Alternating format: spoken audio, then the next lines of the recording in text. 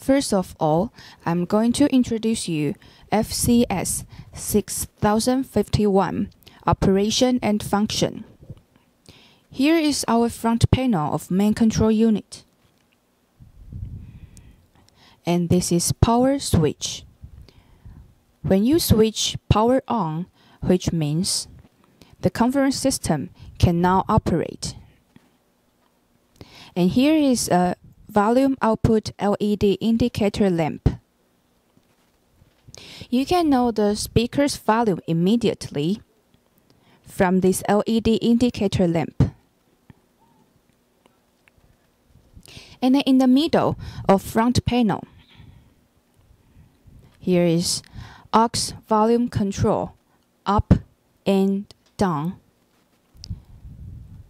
You can adjust the volume of the equipment connected to the aux input jack, which are on the rear panel of main control unit.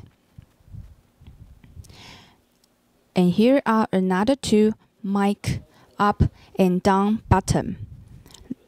These are mic volume control. You can adjust the volume of the microphone connected to the microphone input jack, which are on the rear panel of main control unit. And here are another five conference function control. You can change the modes by this mode button. And here are up and down button. You can step up or step down the parameter and also the volume by these two buttons. And the fourth button is step. You can select parameter setting of the IP speed dome from left to right by this step button. And the last button is save. You can save the settings by this button. And here is a LCD monitor.